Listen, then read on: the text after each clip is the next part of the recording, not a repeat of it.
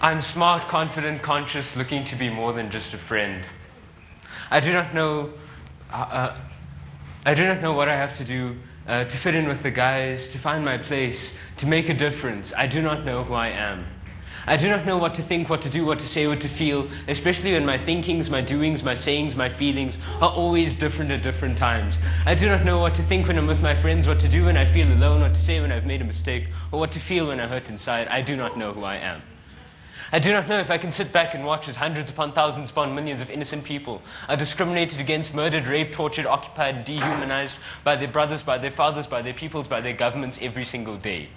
I'm scared that my hopes for a better world are too unrealistic, that in the end, hundreds upon thousands upon millions of innocent people will continue to be discriminated against, murdered, raped, tortured, occupied, and dehumanized by their brothers, by their fathers, by their peoples, by their governments. But I heard a story. Once a little girl walked on the seashore amongst hundreds, maybe thousands of starfish, and one by one she begins picking them up and throwing them back into the ocean. When a man walks up to her and says, Little girl, little girl, what are you doing? You will never make a difference.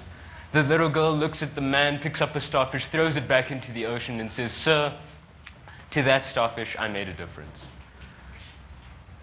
I do not know who I am.